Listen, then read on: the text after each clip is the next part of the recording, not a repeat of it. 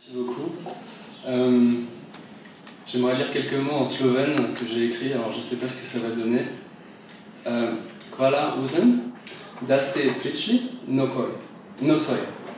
La celo za-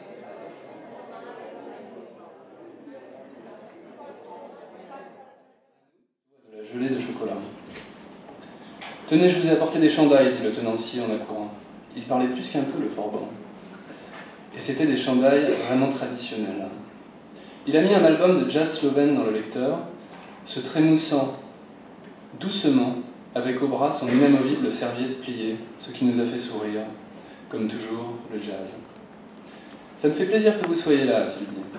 Le français, je l'ai appris en Belgique où je faisais une mission civile, mais je n'ai pas souvent l'occasion de le pratiquer. Oui, fis-je en connaisseur. En Slovénie, le touriste est plus souvent anglo-saxon. Exactement, exactement, s'emporta-t-il.